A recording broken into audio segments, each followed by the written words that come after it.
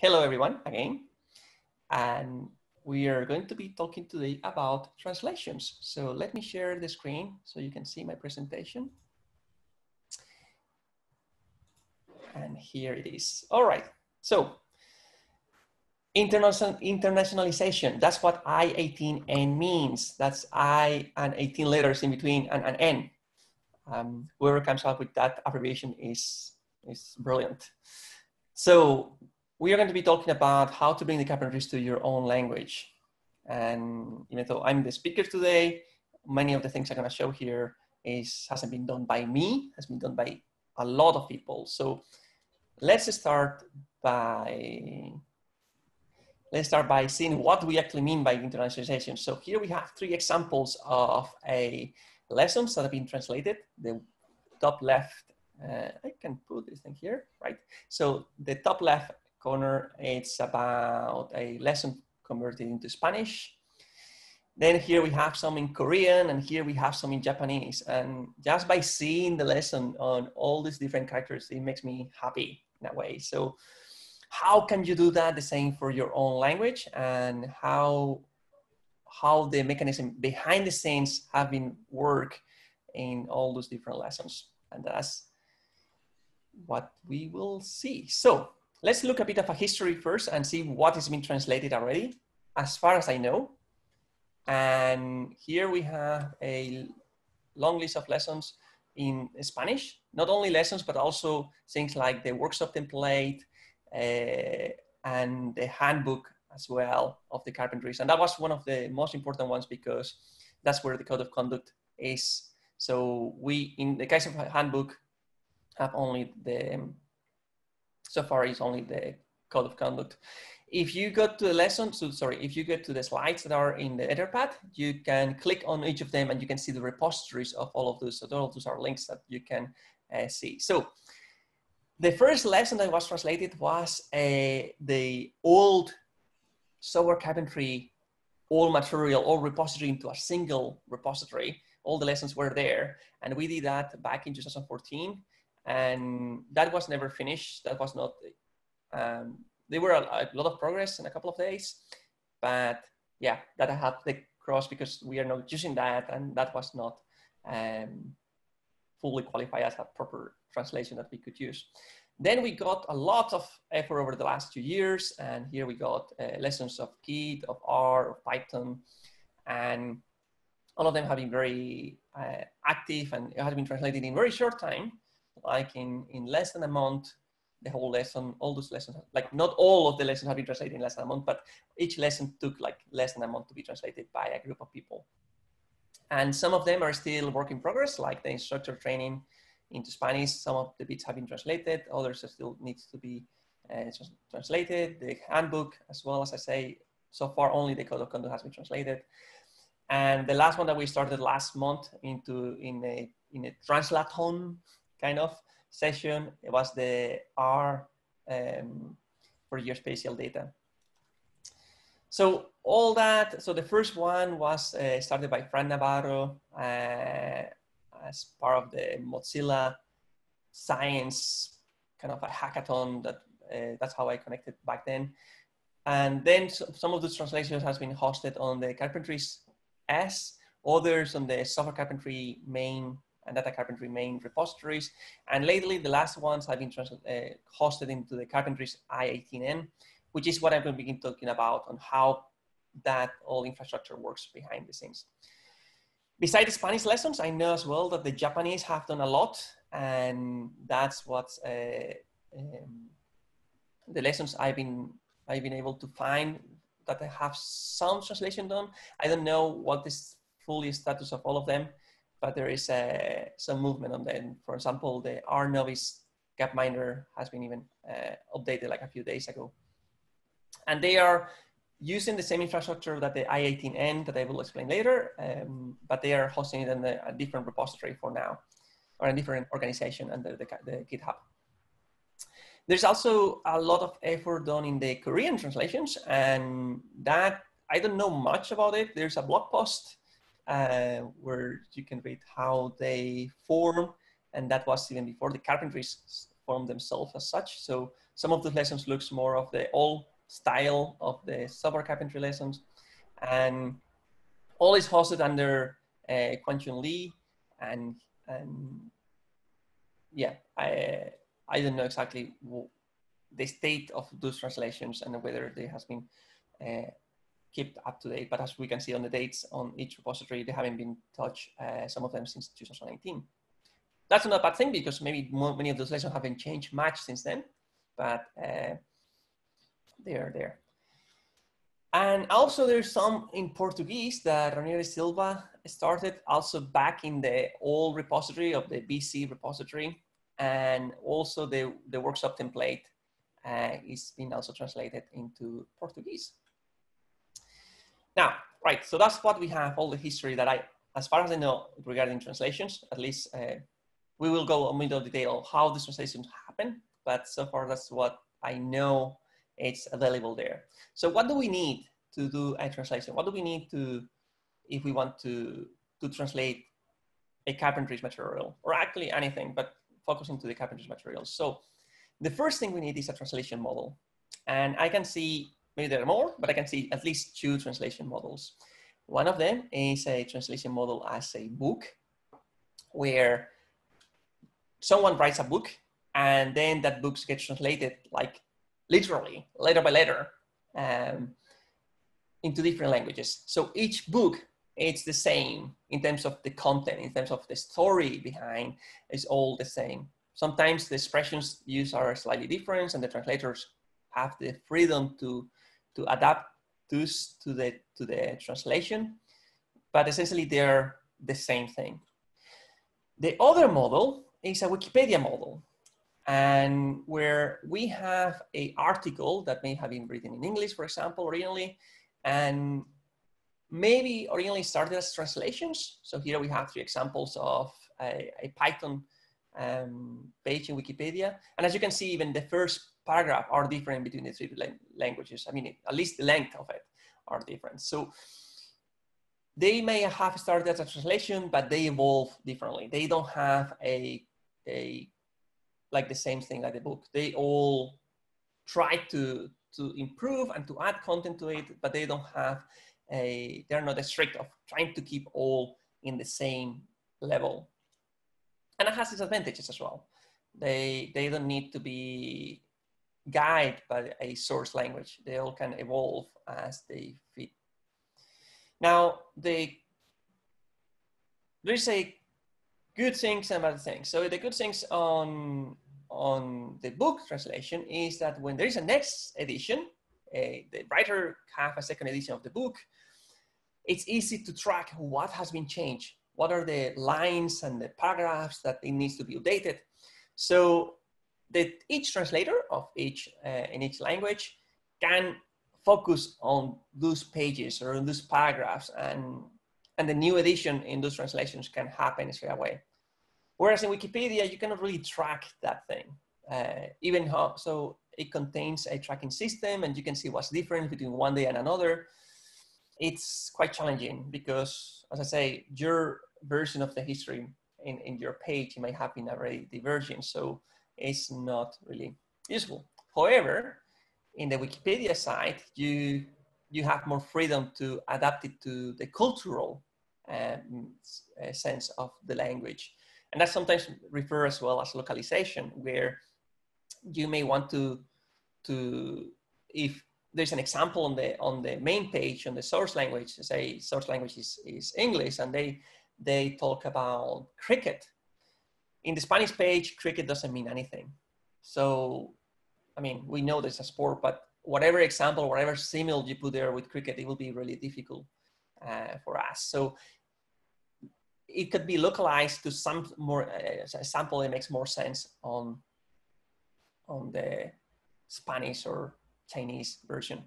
Now that also has, said, also happens on the books translations where the translator may have a freedom to do those kind of changes. Uh, but on the Wikipedia style will be like more, it could be diverge a lot and it wouldn't be difficult, it wouldn't be easy to track back. Okay, so now if we have a translation model, which I would say that for the categories, the book model, it fits better, then we can go to the next thing, a tracking mechanism. how we see the differences. And of course, we teach Git. We have GitHub repositories. We all are like, Git is the amazing tool that we all want. So let's use Git. And that's what happened in 2014. So during the first translation I was involved in the carpentries, we come up with a, a bit of convoluted model uh, on how to translate the lesson. So we have, say, a lesson, an episode of a lesson, say. So we have a file which could contain some markdown or some scripts or whatever. And that file, the last version of that file has a hash. Now that's where it comes to the interesting bit. So we will create a new folder for the translation. So we will have a folder for Spanish, for Italian, for French. And we come up with the idea, say, okay, because we're gonna have a file and we really want to see what have changed on the original file, let's keep track of the number of that hash. So essentially we have, that file contains a new um, hash uh, for the translation, and we will write in the comments something like based on that hash so that when there is a new version coming up for that particular file, we have a new hash and we could see, we could run the difference and say, okay, what is the difference in that file between this hash and that hash? And then we will know what has changed and we could translate that. And that's great till you start to use it. And you find that, first of all, a file is not all translated into once. It's not all done the translation in one uh, commit. So you will have a lot of commits referring to the same commit. Also, uh, the translators may not be too familiar with Git. And we have a, a, we have to track that commit and and that has a to do to be a manual process.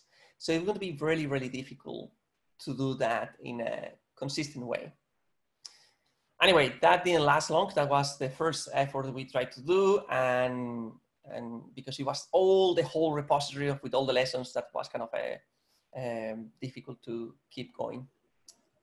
And then in 2016, another group of people also from the Spanish community started to translate lessons again. And that time we have all the lessons separated in different repositories. So we have a lesson with the source. And what we did was a fork in that lesson. So we could have a, a fork of the original lesson and, and then we will translate on the same files straight away. That makes things easier because you don't have, um, you can be translated on the same file. And yeah, then you think, okay, the next time that we pull again for the new version, so a new version of the lesson, we pull from it and we will see conflicts. And that will be great because they will tell us exactly where it's failing. So we have our lesson translated with the changes of the lesson and there will be conflicts to solve.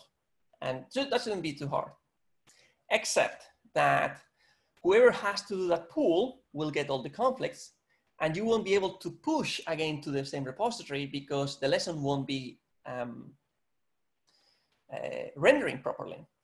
So it it will put all the effort on one person that is pulling and saying, okay, now we have to translate that. Or it would put some kind of a time gap where we cannot really work uh, rendering the lesson, or you will have to work around and put it in a different branch and have the people working on that branch. And again, you will need these people, translators, uh, be familiar with the Git, and you will put more effort into cleaning the repository in terms of, of those conflicts than rather working on the translations. The other problem, as with the previous one as well, is that we don't really know how much is left for translate. Uh, we don't really know how much conflicts needs to be solved. I mean, you can write some scripts and try to count them, but it, you, you lose the feeling of how much has been translated and how much it's need to be done yet. So then in 2017, 2018, I come back uh, with a new idea, and it is not my idea. It's what most of the software is uh, done across the world when they do um, uh, translations. So I've been talking with the people in GNOME, with the people in Mozilla, try, and tried to gather how they were doing it. And the solution was that they were using a tool um, or a similar tool like New Get Text. So that tool essentially uh, takes some source code. It could be a markdown file, it could be a code, it could be anything. And you run through the program and you get a what is called a POT file. That's kind of a template where each block, each piece of text is separated into kind of um, is tokenized into blocks, so that it makes easy to track from the original source and and the translation. So as you can see, I in that image I just separated like paragraphs and put a space in the middle, and that's because then after that you have this template and you can create those files, these PO files, into different language.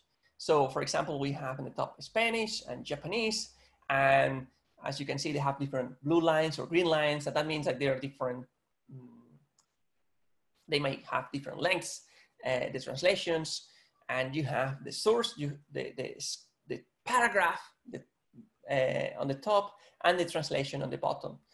And then using the tooling that GetText um, provides, then you can convert that into the markdown in the same way that was originally. That has a lot of advantages and I'm gonna show you an example, but mostly it uh, gives you an idea how much is left to translate. And it gives you an idea also of other things like how much hasn't been reviewed because it has like a lot of different flags that you can put into those files. You can even save their notes for the translators. So if the translator next time a different translator comes to look into that file, can see some notes regarding that uh, text.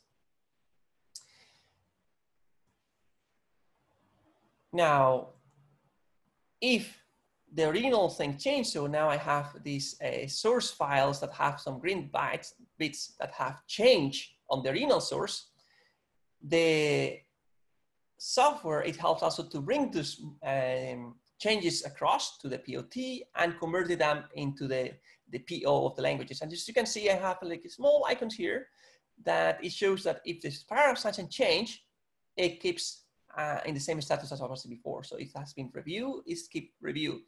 But if something has changed, it keeps the text from before, but it marks them for review. It says something has changed. So keep an eye on that.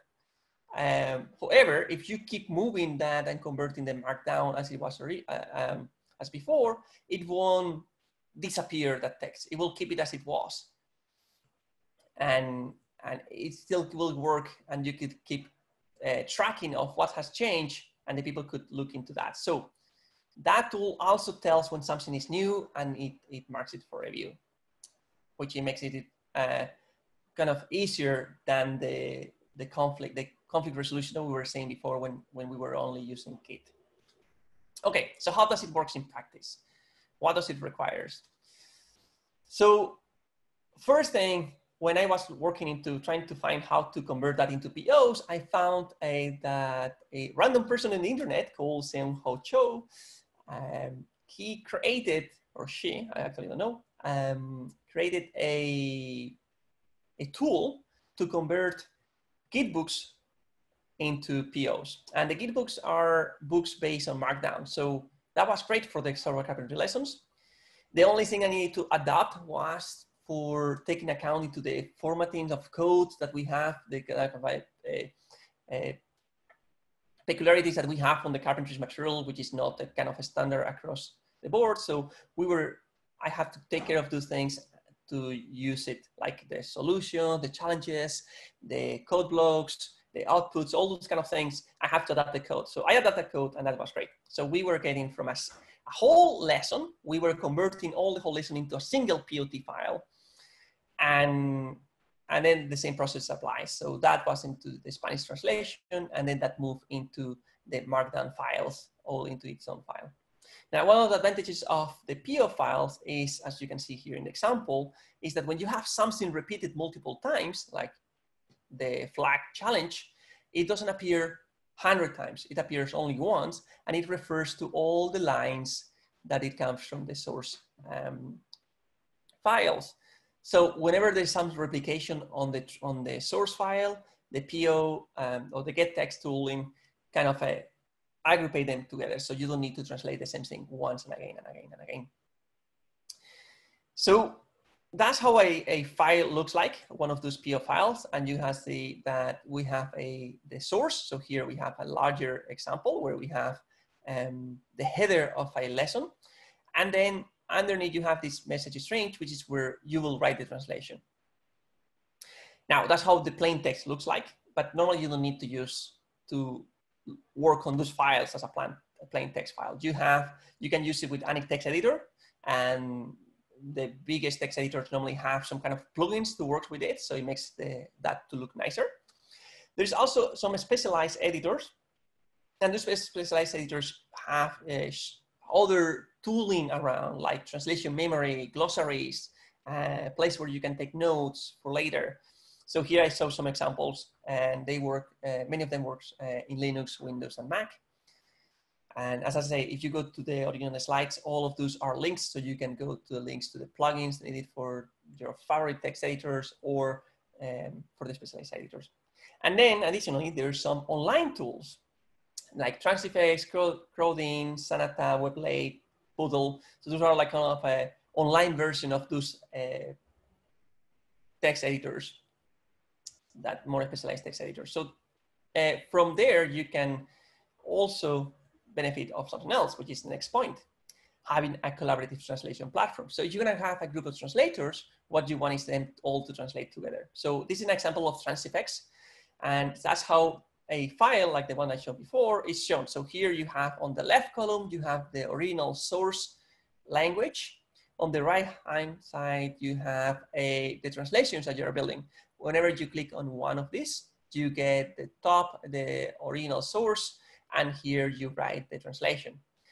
As you can see here, it says and review or review. So it allows uh, also for a reviewer to go and check the translations it has other toolings like some suggestions based on other parts of the lesson or the, it shows the history, what has changed between one and another. It, it keeps also a glossary. So one of the things that you want to keep in the translation is consistency. So you don't want to call something with 10 different names um, across the lesson. So uh, glossary tooling helps to keep that in track. And also you can write comments. So to message other translators and to say, oh, I translate that, but I don't know exactly whether we need to change that or whether that's the best uh, translation done in this case or not. Essentially, all the online tools, even the um, uh, desktop tools looks in this way. You have blocks for the original source and the, and the translation, and you can go one by one. And on the top, you get some statistics of how much you have to translate, what has been uh, translated already, what is still to review. Cool. So the next thing is what uh, I've been working on is to keep that in a centralized way to show all the translations. Essentially, what I've done is create a, a theme, uh, a Jekyll theme. So uh, Jekyll allows now to have a theme where multiple blogs or multiple sites that use that theme looks the same.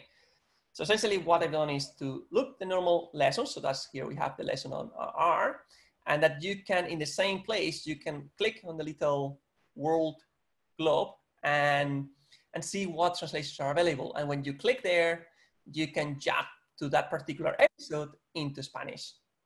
And when you're in the Spanish one, you can click back and go back to the English in case that, uh, imagine that you're teaching and you have uh, students from different uh, languages. And then when they go back home and they want to review the lesson, they can go through the lesson that uh, they prefer in the language that they prefer.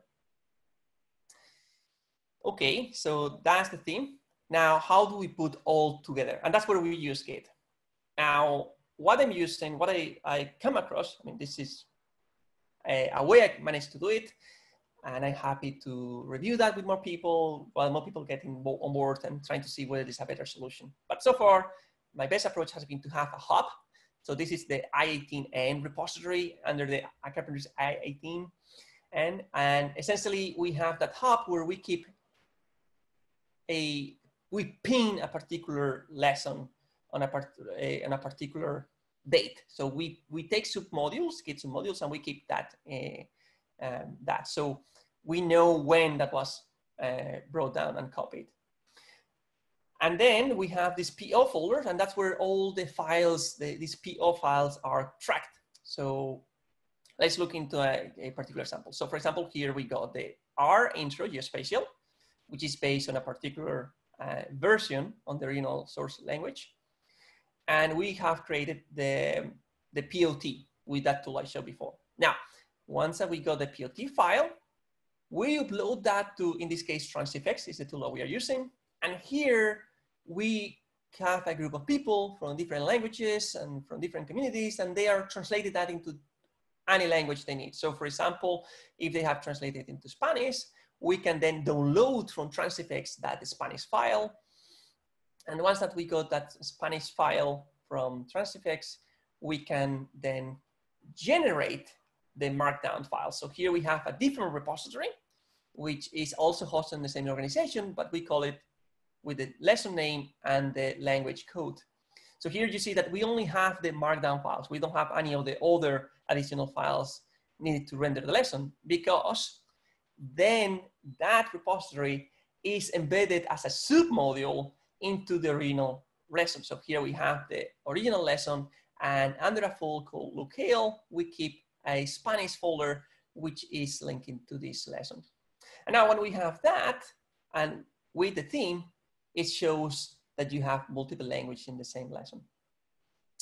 Okay, so what advantage we got here? So first of all, the this submodule here is not too intrusive for the source lessons because uh, whenever someone clone that lesson, by default, Git doesn't pull the submodules. So it will appear there as something that people may or may not want to touch. So it's not too intrusive.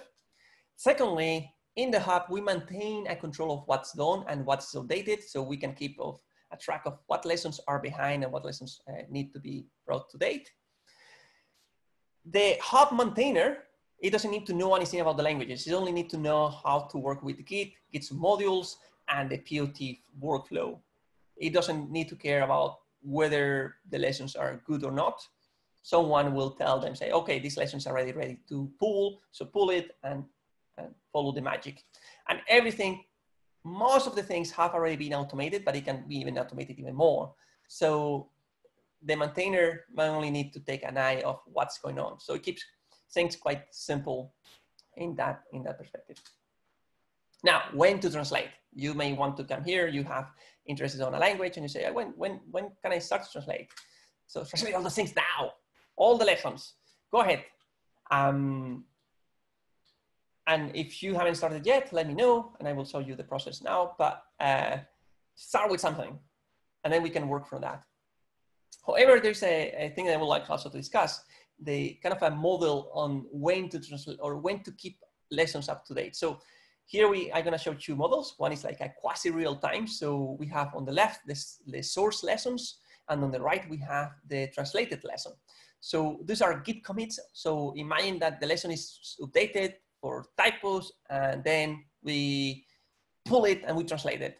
Then something else is, is change it and then pull it and translate it. That's quite um, resource intensive in terms of the people. So they will need to be there and translating and translating and which it might be good and people may up to that because they only need to translate little bits every so and then. And the other way will be to translate every time that is a release. So here, for example, we got an original translation, and then we don't translate again till that lesson gets to another state of a release. So whenever it's a year or whenever we that lesson follows a kind of a release calendar where they put the lesson as a new version, then we can pull from it and translate it. Of course, here we'll need you will need to translate maybe a lot more than in this way, but the advantage is that here things you may translate and then you know they might disappear later uh, where in the in the release base you kind of convince that you know here is a release here's not changing anything and that's what we're going to publish so there's when you you spend a week to translate what it needs to be translated and again when it's version two and stuff uh, in the software world i i've seen that some communities work in one way other communities work in the other uh, not even communities of the software in itself, but even in the, in the languages. So some languages will want to uh, translate it more quickly than others. And either of both are okay. Now, how do we start a new language? So you want to, you're here and you want to translate your lesson into Swahili. And there's nothing done about that yet. So first thing I will suggest you is to tell me. You can do that by emailing me or opening an issue on the I18N and lesson, uh, sorry, repository tell me which lesson it is and which to which language you want to translate it. Then the second thing I will suggest you is to read the documentation I, I written as a translator guide, which it tells you what you should translate, what you should not translate, what you should keep an eye on the translation. I will show you an example in a bit. Then create an account in Transifex. That's the tool that we are using now. That might change in the future uh, because other tools may have better um, tooling that I, uh, I'm exploring and see how to use it. So I created a video a while ago on how to use, as you can see there in the corner, I used to have more long hair there. And there you can see how to use Transifex. Number four, you find a group of people that can help you. So go, go to the forum and write and say, hey people, I, I'm going to translate this lesson into Italian. I need Italian people helping me. And, and then probably for sure you will get people there say, oh, that's interesting. Yes, sure, I can, help. And there's also a Slack channel in, called internationalization where you can also ask for, see whether there's some people there that speak your language and get some help. And finally, if you're the first language, to, the first person to come into that language, define some rules. So define what's going to be translated, defining what's the gender and person you're going to use. So English, in many examples, doesn't have a gender and the verbs, but in Spanish we do. So you need to um, well, in Spanish we don't do in the verb, but in other language you have the gender and the verb. So you might want to fix those things. Those rules don't necessarily need to be like super strict. You may update those rules in the future, and that's good. But at least to keep consistency in the first lesson between the other translators that might help you. So define some rules. So if you want to see some examples, also there's a link here that it shows you what we did with the Spanish lessons.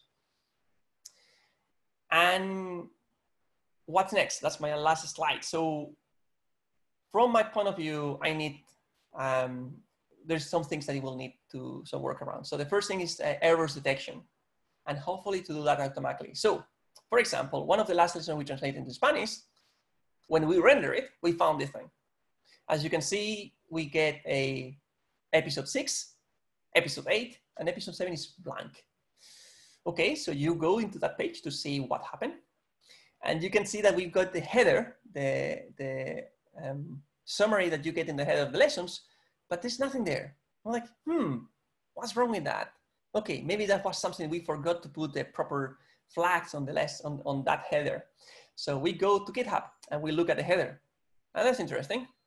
We get the three lines that we need to put on the header. So that seems okay. However, if you're familiar with the, how the lessons look in GitHub, that's how the English one looks like.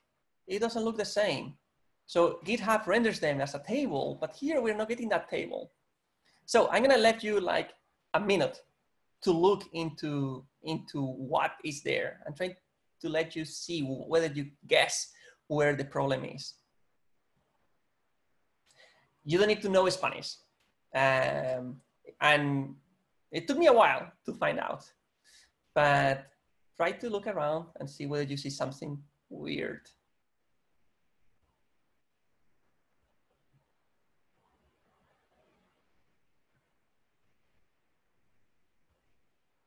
No pressure, Francois. I hope that you find that straight away.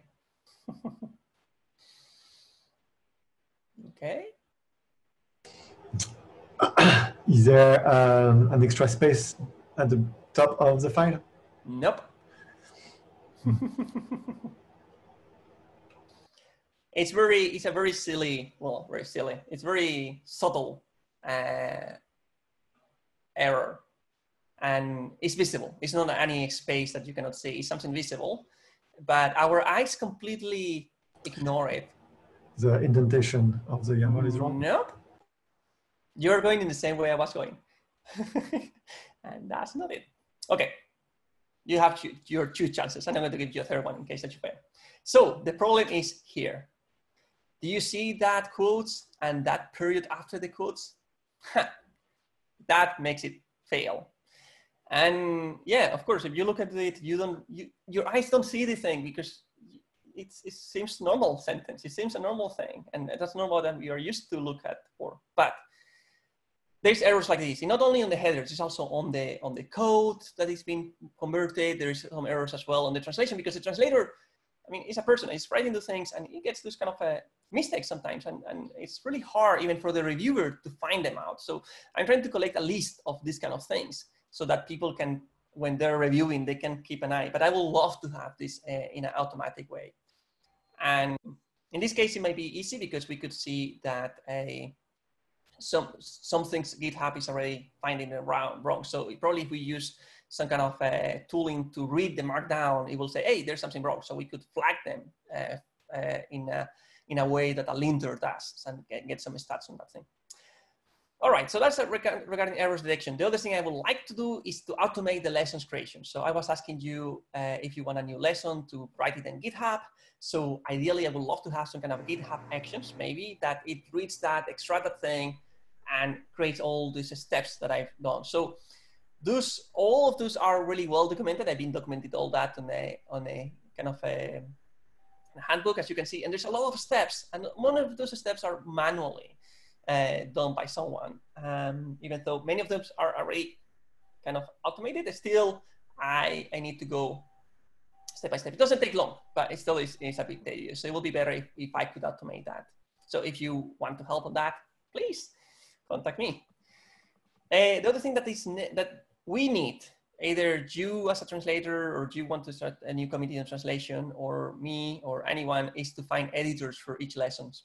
Editors on each lesson will be like maintainers on the original source languages lessons, but with less work because they don't have to worry about pull requests and stuff. They only need to worry, well, only to check that the when we need to pull a new lesson and trying to to collect the community, call the other people in the community to come up and, and work together in the translation whenever they need it and, and keep an eye, kind of get more authorship on the lesson in itself in the, in the source language. Finally, I, well, finally, still what I would like as well to get is some maintainers to help me with the I18N. As I say, you, it's not language expertise, any other language knowledge needed. Uh, if you are familiar with Git and GitHub and you're interested to get into this world of getting different lessons and Jekyll to work with multiple lessons, uh, I will be glad to get you with me here. And then finally, one thing that I started to do, but I, I still need more work, is to create on that I18N repository to get some kind of a GitHub pages showing the statistics uh, of what lessons are being translated, what lessons need to be, uh, what are in progress, when was the last time pulled, some information that may help to the instructors and to the learners when they go to the lesson say, oh, is that the last version or is that like three years ago? So get some kind of a, a dashboard with that. And with that, I finish. I would like to thank you thank you, thank you, thank you all of you to come here. In particular, I would like to thank Fran Navarro back in 2014 when convinced me, I haven't ever met him, uh, but we worked together for the first translation and part of the Mozilla Science Lab uh, into Spanish. I will also give a big thanks to Tom Kelly, who was one of the early adopters of my crazy experiment of the I18N and, and he used it a lot for the Japanese team, and they have been quite active. And of course, I couldn't leave without thanking all the Spanish uh, speaking community, in particular Paula and Florencia, who has me has helped me a lot uh, in the last um, translathons we ran uh, as part of the Carpentry Con at Home conference, and everyone who participated in those calls, and everyone who has been participating over the last three, four years on the translations on the carpentries. And that's all for me. So I'm gonna stop now sharing the screen and I'm gonna look into the questions that we have already in the Etherpad. So let me bring the questions. And here we say, I can't see anything. There you go. Okay, so please feel free to unmute yourself or put your hands up. We still have 15 more minutes of discussion. Uh, okay, let's start with the hands up. Uh, Giacomo, please unmute yourself and let me know what you want. And uh, video. Hey, thanks, uh, David, for uh, this great project, and I definitely hope to contribute something at some point. Just one question. Are the current translated lessons for the moment all translation of the English sources? Of the English originals. Uh, to where and what? So the, the current translation in Spanish? Yeah.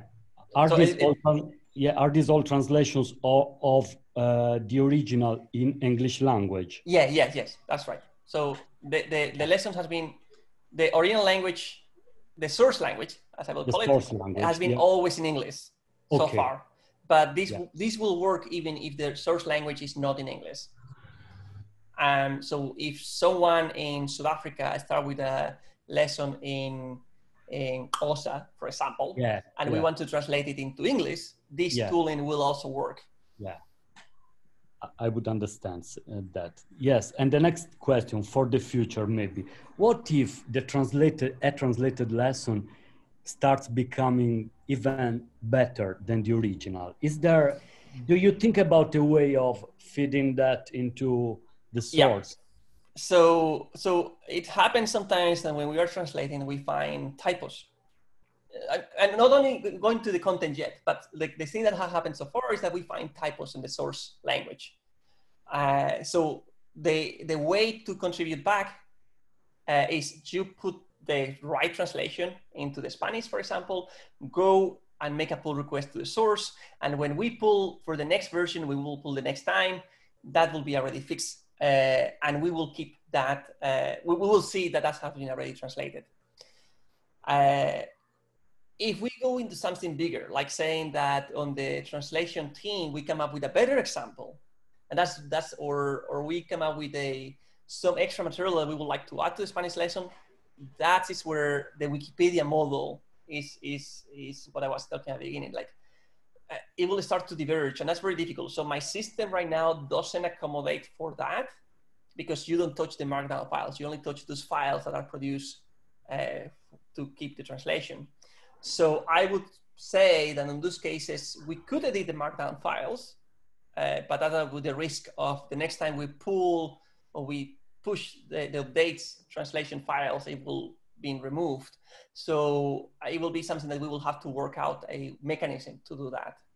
Uh, but yeah, that's a concern of, of how we will do that, how we will solve that. My ideal, you know, my ideal world will be like, if it's something that is good, it should go to all the lessons. So it should, maybe we should propose to the source lesson and then everyone will benefit uh, rather than diverge path. Yeah, thank you. Very clear. Okay. What other question we got here? So we got on the Etherpad something that says, what do you think about writing a guide translating lessons and resources based on this presentation? Yeah, so we I have so I've been writing this documentation as is, is been mentioned there, uh, and it's the links on the presentation. So if you look at the slides, all the images I have there, pretty much even the source code is pointing to that particular files. Uh, but yes, we have this uh, the I-18 uh, handbook documentation where uh, I I've been trying to document everything, all the little bits of as from the point of view as a translator, all the point of view from the maintainer of the lesson and and and things that we need to put in place with the maintainers of the source lessons and stuff. Um, but yeah, that's there. Uh, can be added to the carpentry handbook. Yes, it can. Uh, my only problem already so far is that I need to come to to talk to reach the maintainers on the carpentries of each particular lesson uh, to actually implement the thing. And because right now I have two things. One is the submodules for the languages, and the other thing is this the uh, the I'm using this carpentry theme, which some of the new lessons are using a theme already that Francois has done, but um, a, we will need to have a to unite that theme. And my theme so far is not still perfect. There's some problems and some things that need to be solved yet. Um, but what I need is more users, more language, more people helping to, to keep moving this thing forward. Uh, okay, and the two other questions were the one that we solved already. Uh, more questions, people.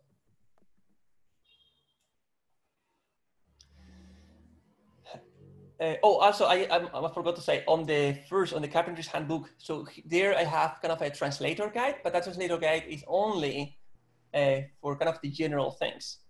As I said before, if you are translating a new language, you should create your own rules. Maybe those rules should also be living in that same documentation for each different language. but um, but for example, the Spanish one are still not there, uh, and that's the one that I have more interaction. So I I haven't decided yet what is the right place for those to live because I think that that's something that the, each community, each translation community should create them and should kind of uh, be the owners of them. So I maybe the easier will be to link to those uh, rules rather than host them in the same place. Uh, so the last question I found there says, uh, does one simply trust the translators or is a mechanism? So uh, on all those tools, you have a, you translate something and then there's a reviewer. Uh, so essentially you will have two roles. You have the translator role and an editor role. And then you may have even have as well a, a kind of a, a, bigger role, like an admin role. But essentially it's a, the translator provide it's like in GitHub, you have a contribution and then you have the maintainer who is have the right to to merge the pull request. So here will be the similar. So you propose the translations and someone will click and say, yes, review, or it needs something to change, and then it's now reviewed.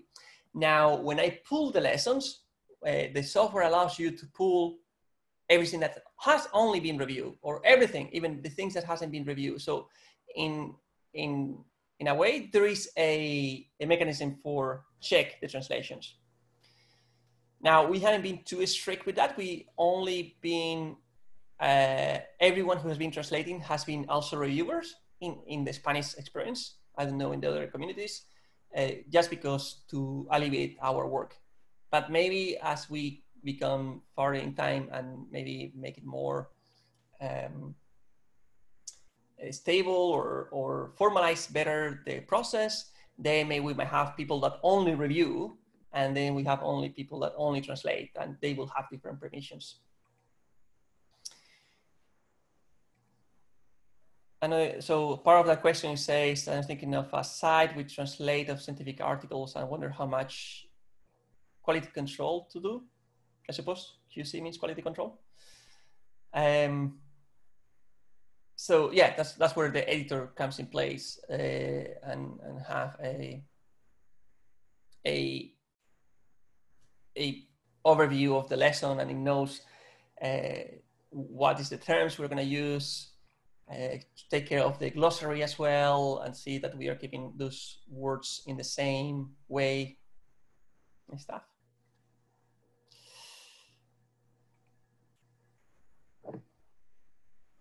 more questions, more things. Anyone? Anyone interested to translate into a new language? There's I've seen people that have here from uh, Spanish, Italian, French, Japanese, Swahili, German.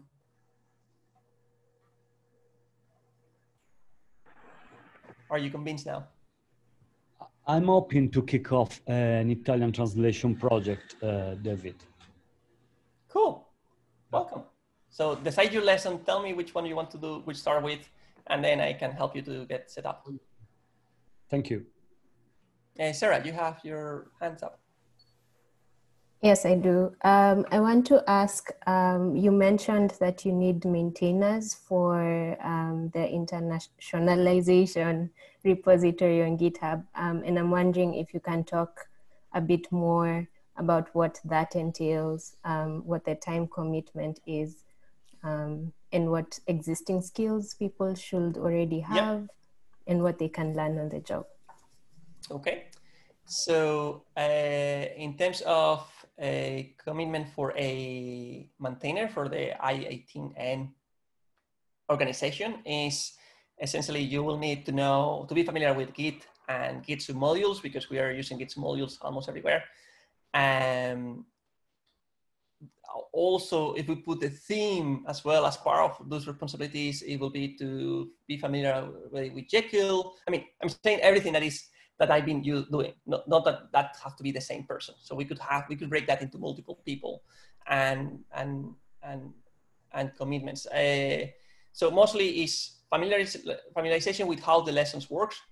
Uh, in the software and the data carpentry and library carpentry, familiarization with Git and Git modules, familiarization with a Jekyll, and and then it's regarding type commitment. I don't know. I've been doing this for two years. on a on off like one weekend here, one weekend six months later, things are not working. So it's it depends on how much push we want to do to this. So if we have more people, this will work more fluently and and maybe the time commitment is not excessive because it's when someone wants to do a new translation that this hasn't been already prepared, it will be, uh, I managed uh, kind of run to those scripts and generate this new lesson uh, for people to translate. If it's already, if it's already translated in a language, adding a new language is a two minutes um, or even less because it may Transifex already may have provide those languages already. So it will be on the times of when the lesson is translated to pull it down and translate it. And yeah, I think that's that's it. And most of the scripts I've written are in Python. Uh, so if if we need to debug those scripts or to improve those scripts, maybe we need to work out with the if the people knows Python, we can keep doing it in Python. If uh, the new people I want to help knows a different language and they want to do it in a different, like they're more familiar in a different language, like, I'm happy to to switch to something else uh, if that shows uh, that this makes life easier for everyone. Awesome, thank you. Good. Uh, another question here is whether there's a mechanism to set priorities or to suggest the translation to, and what's the urgency? I, that's up to the community. So as the Spanish community started with one of the core lessons, and then because people there was more uh, in a community that were doing more R or ecology, they started to translate those lessons first. Uh, up to up to the community right now because we don't have many things. I don't think there's much of a point of of making a, a, restriction of what needs to be done first. I would say if do what you enjoy more. So if you're new to the translations and you want to translate something, choose a lesson that you will enjoy rather than choosing something that you hate, uh, because it will make your life easier and you will have you will do that with more purpose. Um, in the only restriction or the only kind of push we gave uh, was to translate the code of conduct uh, as I say, we need to have that. Uh, so we haven't translated the rest of the handbook, but we focus on the code of conduct so that we can point to the page that is in Spanish and that was uh, useful for anyone running any workshop.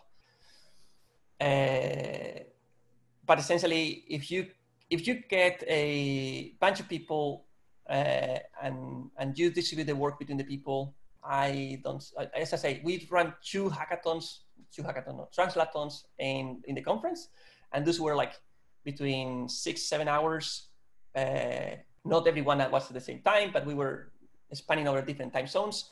And we have fully translated one lesson and half or maybe a, almost a third of, uh, most than a third of a second lesson of the R geospatial. So if you find the people and you organize yourself and you do what you have more fun with, then you will you will start something, and then you know then you will start to attract more community with that, and that that will grow.